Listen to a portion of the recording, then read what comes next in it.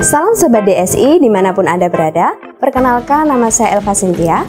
Pada saat ini saya akan menyampaikan beberapa info menarik tentang teknologi compact wireless, yaitu RFID paper bagi kehidupan sehari-hari.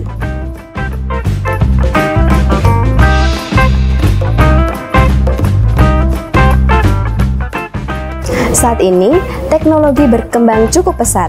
Pernahkah Anda berpikir bagaimana cara sekeping kartu dapat membuka pintu hotel? Atau sekeping kartu dapat mentransfer data diri secara cepat seperti nomor ponsel, alamat, website, bahkan sampai nama panggilan Anda?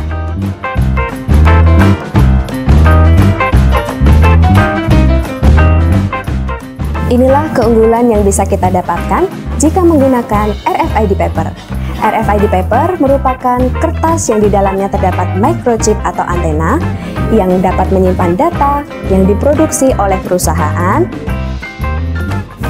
ISBC dari Rusia. ISBC bekerja sama dengan perusahaan microchip NXP untuk menciptakan RFID paper ini. Selain memproduksi RFID paper, ISBC juga memproduksi mesin e-perso untuk mengcoding datanya. Cara kerja dari RFID paper ini adalah dapat untuk menyimpan dan memindai data tanpa menggunakan kabel atau wireless karena memanfaatkan gelombang elektromagnetik. Oleh karena itu, RFID paper lebih unggul dibandingkan dengan barcode karena otentisitas atau keaslian yang terjaga sehingga menghindari pemalsuan. Kemudian dapat menyimpan data dengan kapasitas yang lebih besar, simple, efisien, mengurangi kontak langsung, detail, dan bahkan RFID dengan microchip khusus dapat dihindari dari jarak yang cukup jauh hingga 20 meter, sehingga cocok digunakan untuk tag barang persediaan. Jenis layout RFID paper ini juga beragam, sehingga bisa digunakan untuk segala kebutuhan Anda. Di antaranya, 3 kali 8 untuk smart card, kartu nama, akses hotel, dan juga akses masuk ke wahana permainan. 1 kali 8 untuk race band, event, atau acara konser. Kemudian ukuran A4 untuk secure dokumen seperti ijazah dan sertifikat.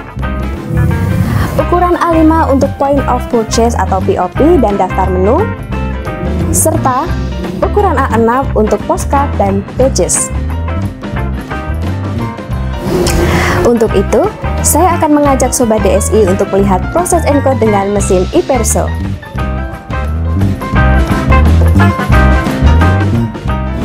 Sobat DSI, ini merupakan monitor layar sentuh.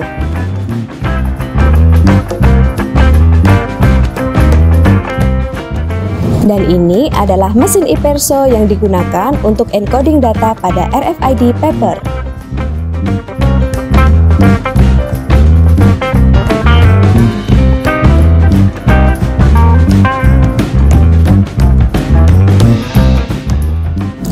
Ini merupakan RFID paper untuk smart card dengan layout 3x8 yang berisi 24 microchip. Saat ini kita mau membuat bisnis card ya Sobat DSI.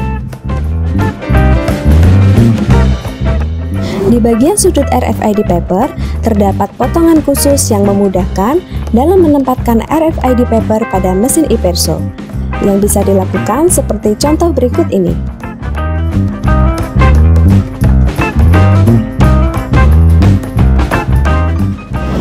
Cara melakukan pengecekan microchip dalam RFID paper. Pertama, tekan tombol cek di pojok bawah. Kemudian, tekan icon cek sekali lagi. Di sini Anda bisa melihat ada 24 microchip dalam RFID paper. Anda juga bisa melihat jenis NTEC 215 dengan kapasitas 504 bytes. Kemudian, tekan icon back. Untuk input dan encode data pada microchip RFID paper, tekan icon new pada bagian kiri layar. Kemudian akan tampil tiga pilihan untuk kontennya, yaitu website, phonebook, dan juga wifi. Nah, karena saat ini kita membuat business card, maka pilih icon phonebook. Kemudian, input data Anda, yaitu nama depan, nama belakang, email,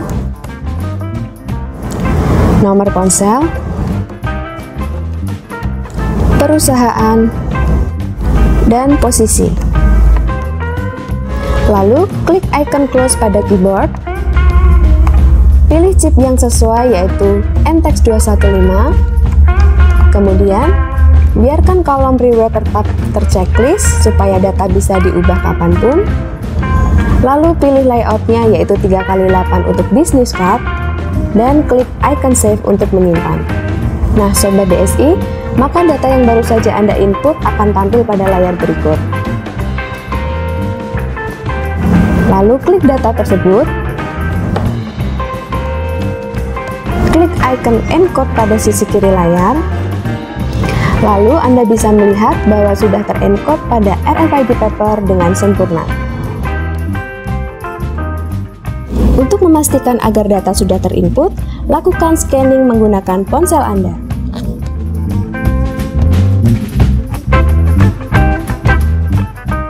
Di sini kita sudah bisa melihat bahwa data sudah terinput dan terbaca dengan sempurna. Baik Sobat DSI, demikian keunggulan dan cara kerja RFID Paper. Mudah bukan? RFID Paper menjadikan setiap kesempatan lebih mudah dan semakin mutakhir. Saya Elva Cynthia mengucapkan terima kasih.